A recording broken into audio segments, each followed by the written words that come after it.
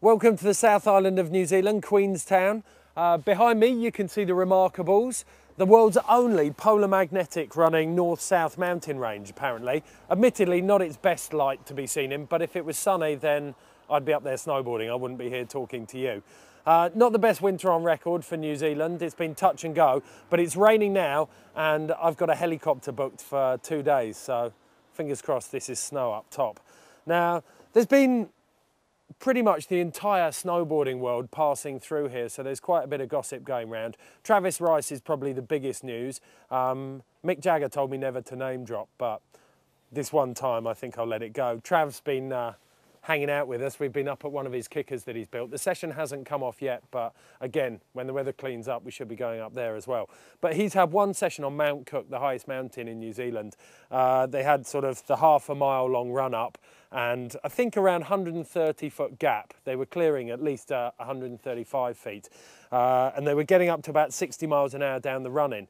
Uh, John Jackson, one of the guys that Travis was with, was having trouble getting speed. So after two or three attempts and missing, he ended up taking off his jacket, taking off his top and going total bareback at a backside 720, 60 miles an hour into powder. Stomped it first go and got away with it.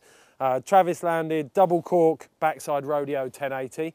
At the moment, the director of his new film is calling that the finishing trick. So keep your peepers out for that one.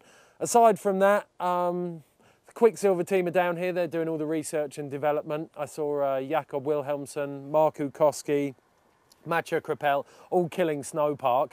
Uh, if you haven't had a chance to look at Snowpark yet, then I know it's a massive expense to get down here, but think about it, one chairlift, if you're into your freestyle, one chairlift, a world-class pipe shaped every day, uh, incredible kicker lines that have got perfect speed setups, every rail combination that you could conceivably think of, and just endless laps of joy really. Get yourself up there or check out Lockdown's film. They've been up here filming the British lads. Uh, from what I've seen so far, pretty funny. Um, I'm going to go back inside and pleasure myself with my laptop and the TV, I think wait for some powder and I'll let you know next week how it goes. See you then.